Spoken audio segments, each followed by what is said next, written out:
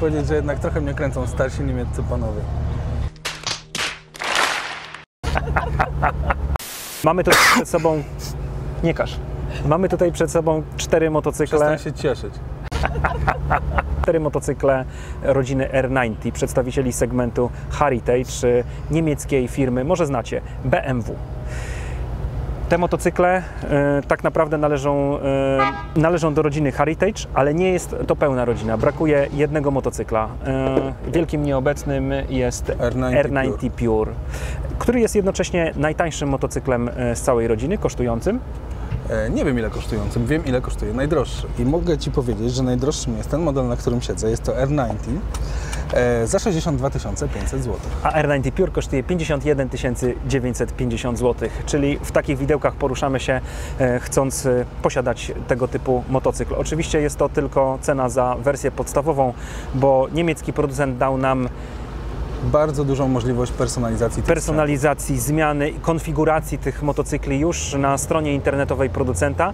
E, Możemy sobie tak wybrać, e, tak skonfigurować motocykl, żeby miał szprychowane koła, mm, kontrolę trakcji. Sportowy wydech, sportowy wydech, aby miał na przykład e, różne wysokości siedzeń.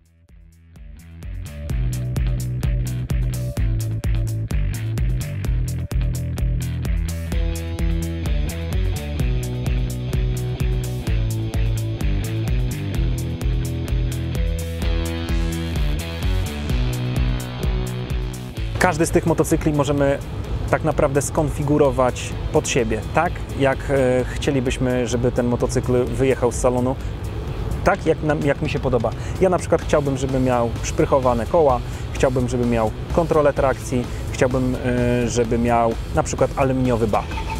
Ja chciałbym sportowy wydech, chciałbym wszelkiego rodzaju klimatyczne dodatki jak e, głowice w kolorze e, reszty bloku silnika, czyli e, w kolorze czarnym, taką samą klimatyczną osłonę rozrządu. A i na przykład kierunkowskazy LED. Ale to nie wszystko, bo możemy sobie zmienić dźwignię zmiany biegów, dać siedzenia o różnej wysokości. Możliwości konfiguracji są nieograniczone. Punktem wspólnym tych motocykli jest silnik, nazwijmy, to, nazwijmy go ze starego GS-a, GS-a mm, z 12 roku, e, czyli ostatni model silnika Boxer chłodzonego powietrzem. I olejem. Tak, I olejem. olej. Powietrzny olej. Olejaka tak zwana. E, Jednostka ta generuje 110 koni mechanicznych e, i 116 Nm momentu obrotowego. Daje mega fan z jazdy i cóż, w tym momencie dokupna, do, do, dostępna do kupna jest tylko w rodzinie Heritage. Tak, ale jest to bardzo trwała, bardzo sprawdzona i bardzo lubiana jednostka napędowa przez mechaników, a do tego wszystkiego cechuje ją bardzo płaski przebieg momentu obrotowego, czyli tak naprawdę te motocykle, bez względu na to, który ma, e, jaki mają zapięty bieg, powyżej powiedzmy 2000 ob- obrotów, e, ciągną jak wściekłe. Bardzo przyjemne jest oddawanie mocy tego boksera, jest bardzo liniowe, jak powiedział Kuba. E, ogólnie kocham silniki Boxer, e, a ta 110 jest jednym e, z nich. W tych motocyklach przede wszystkim liczy się wygląd I styl. i styl, a trudno ich, e, trudno całej serii R90 e, go jak gdyby podważyć, prawda? Nie, mi- i, nie, I nie pokochać za ten styl. I nie pokochać, dokładnie. E, Michał, może najpierw powiedz, który sprzęt Tobie się najbardziej podoba, a ja Ci opowiem o swoim faworycie. Najwięcej jeździłem tym motocyklem, czyli Urban GSM. E, Co tu dużo mówić, urzekł mnie ten sprzęt, gdyż e, jego łatwość prowadzenia, jednocześnie taka dzielność, miejska dzielność terenowa. Urban GS, czyli taki motocykl do mm, jazdy po nierównościach e, miejskich, do tego bardzo się nadaje. Pomaga mu w tym przednie koło wielkości 19 e, cali, o średnicy 19 cali. Jako jedyny przedstawiciel właśnie rodziny, rodziny R90 posiada tak duże koło. Fajnie wybiera nierówności. Jest przewspaniale e, miękki. Jego jazda po, po na przykład tutaj nierównościach Gdańska, po, po, po bardzo, e, bardzo nierównych i, i, i zniszczonych, e, nie bójmy się tego słowa użyć, drogach, nie sprawia żadnego problemu e, jemu, a mi wręcz sprawia przyjemność. Szeroka kierownica, bardzo wygodna e, kanapa, dosyć płaska, e, na której mogę zająć naprawdę miejsce, które po prostu sobie sam, samemu wybiorę. Ona nie każe mi usiąść w danym miejscu blisko czy daleko baku. Ja mogę sobie po prostu samemu wybierać miejsce, w którym siedzę i to bardzo mi w tym motocyklu pasuje. A wizualnie? A wizualnie on nawiązuje do, do motocykli e, BMW lat 80., do, do e, właśnie pierwszych, e, nazwijmy to GS-ów, więc jest to jak najbardziej sprzęt, który może się podobać i mi się podoba. Mi najbardziej podoba się Racer i są to kwestie tylko i wyłącznie wizualne. E, Generalnie ten sprzęt nie, nie będzie dobry w mieście, jest za długi, za nisko osadzoną ma kierownicę, ma za, za daleko cofnięte i za bardzo podniesione podnóżki. Jest to sprzęt, który e, tak naprawdę, którego pozycja przypomina jazdę starym oldschoolowym przecinakiem z początku lat 90.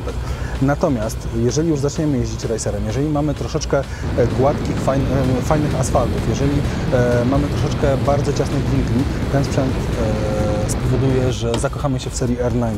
To, Jest to prawdziwy przecinak ubrany w szaty klasyka. Co jest w nim fajne? Jest długi, znajdziemy w nim bardzo dużo miejsca, e, ma bardzo, jest bardzo czuły na mm, ruch kierownicą, jest sprytny, jest wąziutki. Jest po prostu taki, jakiego byśmy chcieli e, mieć e, do jazdy sportowej. Rozmawialiśmy przed tym nagraniem z Kubą o tym motocyklu i właśnie ten motocykl to jest takie trochę szaleństwo. Na pewno nie nadaje się na, na jedyny motocykl, gdyż e, za mało oferuje. E, Jest bardzo wyspecjalizowany. N- Choć można nim pojechać w trasę i znam osoby, które pokonały 1000 km, ponad 1000 km Te dwa dziennie. modele sprawdzą się bardziej. Tak, na pewno. E, Natomiast ten motocykl daje coś więcej. E, Daje takie oldschoolowe e, poczucie e, bycia wyścigowcem trochę. Tak, czyli na przykład masz w garażu powiedzmy BMW S1000RR, a w, e, którym na przykład śmigasz po torze, a w weekend masz ochotę się przejechać e, równie dynamicznie, ale sprzętem, który niekoniecznie pokazuje, że masz taki potencjał e, z jazdy. Szczerze, jest to kawał fajnej, ładnej maszyny, e, takiej jakie wychodziły z, nie wiem, prywatnych kuźni w latach 70. Nie rozumiem tylko, dlaczego jedyny model, w którym zamontowano radialne zaciski i naprawdę solidny widelec upside down, który ma pełną regulację, trafił, Nie trafił do, tu. Nie, e, trafił do motocykla uniwersalnego, a nie został włożony do najbardziej sportowego modelu w całej serii. Ale dzięki temu, że jest tutaj, też podnosi właśnie jego wartość. To jest najdroższa sztuka w tym całym zestawieniu i według mnie najbardziej uniwersalna.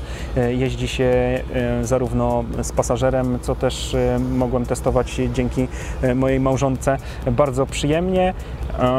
Jest bardzo fajny w odbiorze, słucha się kierowcy i nadaje się do wielu, wielu zadań. Można nim jeździć e, zarówno na co dzień. e, Myślę, że też e, dałby sobie radę dzięki temu zawieszeniu w pełni regulowanemu, dałby sobie radę także na torze, na, na krętych górskich drogach. Myślę, że to jest najbardziej uniwersalny motocykl z tego całego zestawienia. Całkowicie się z Tobą zgodzę. Można jeszcze wspomnieć o Scramblerze, który, który tak Trzeba. naprawdę... Trzeba. No to, no to jedziemy ze Scramblerem.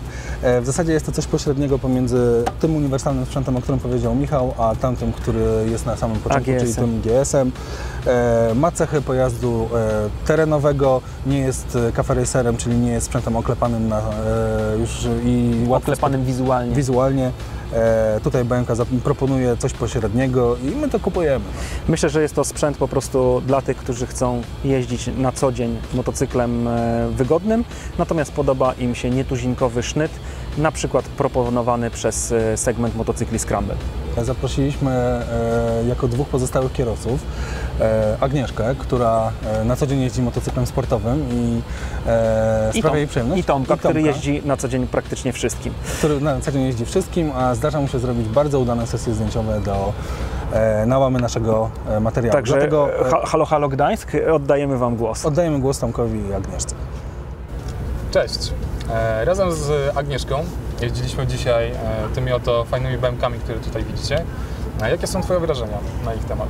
No, jestem pozytywnie zaskoczona, ponieważ e, dla mnie to była zupełna nowość. Jeżdżę 250 po torze, po mieście jeżdżę y, 600. Y, co mogę o nim powiedzieć?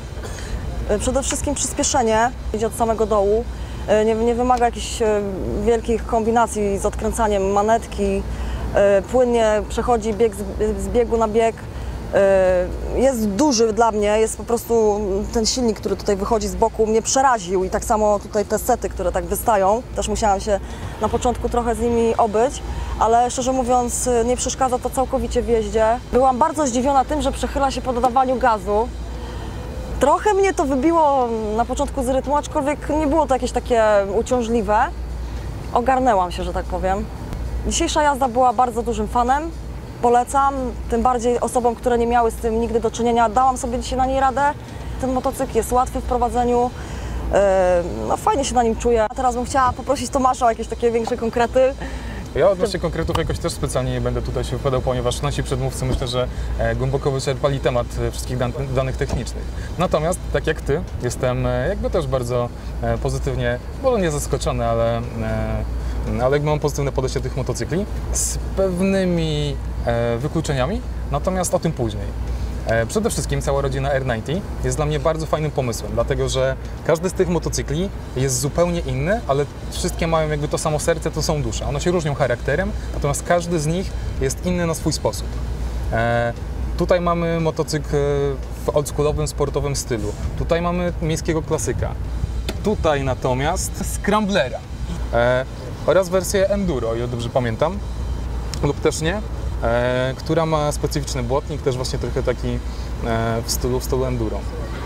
Każdy z tych motocykli można modyfikować na wiele sposobów, e, łącznie z wielkością koła są 17, są 19, e, różne malowania, e, różnego rodzaju dodatki, są różne lampy, opony, e, więc na dobrą sprawę każdy człowiek może sobie zamówić zupełnie inny siebie, sprzęt, coś, coś co dla siebie. pasuje. Mhm. Może nie to, że kustomizować, bo to jest zbyt duże słowo, ale na pewno spersonalizować go pod siebie.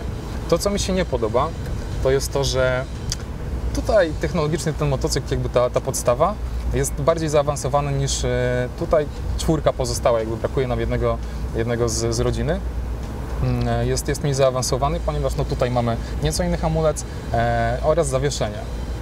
Poza tym każdy z tych motocykli budzi we mnie naprawdę bardzo fajne, pozytywne emocje. Mhm, tak samo Jedynym minusem według mnie są, jest umieszczenie setów. Tak, to też Za każdym zdecydowanie. razem, kiedy muszę się zatrzymać i zdjąć tą nogę Tak. czy, czy obydwie nogi, e, niestety zahaczam. Tak, Jest też miałam z tym problem. Znalazłam sobie miejsce tutaj między setem a silnikiem. Właśnie, ale to także... wtedy te nogi gdzieś tam Tak, wychodzą dalej, dokładnie. prawda? To też nie jest taka naturalna pozycja. Dokładnie. Ten motocykl wymusza na mnie pewnego rodzaju pozycję, jeżeli chodzi o mój tułów, no i jakby całą resztę. Muszę mieć, e, siedzieć jakby w konkretnym miejscu kanapy, żeby się do niego dostosować. Michał jest trochę większy, być może u niego to inaczej wygląda, ja natomiast nie czułem się do końca komfortowo. Nie miałam z tym problemu. Jakoś tak nie wiem, może przez to, że też e, to była pierwsza jazda tym motocyklem, też nie wiedziałam na co zwracać uwagę za bardzo. Myślałam, że nie ogarnę tej kierownicy, że jednak szeroko, no, na początku było dla mnie to trochę dziwne, ale naprawdę bardzo szybko się motocykl adoptuje jakby do użytkownika. Takie mam wrażenie ja bynajmniej dzisiaj, z dzisiejszej jazdy. Czy poleciłabyś, czy polecilibyście motocykle rodziny R90 swoim znajomym?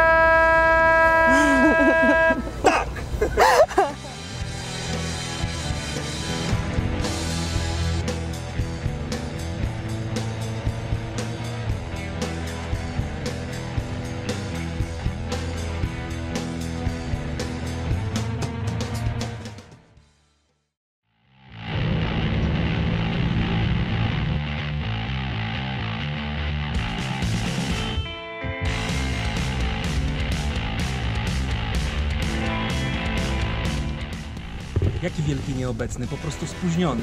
Jeden dzień. Dlatego nie mógł z nami jeździć e, razem z innymi motocyklami e, rodziny R90, ale pojeździliśmy z nim, z nim solidnie dzień później. Jak się sprawował? Wyśmienicie. Jest to najtańszy motocykl tego segmentu, tej rodziny, a mimo to naprawdę daje radę. Tak naprawdę nie czułbym e, wcale różnicy tych kilku tysięcy złotych.